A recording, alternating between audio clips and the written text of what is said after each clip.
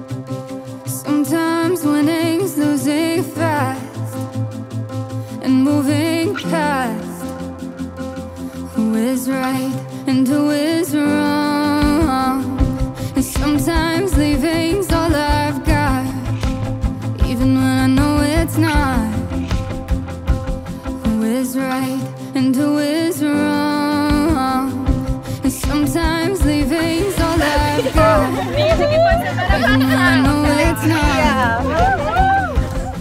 Our love is too strong for that kind of talk to be more than.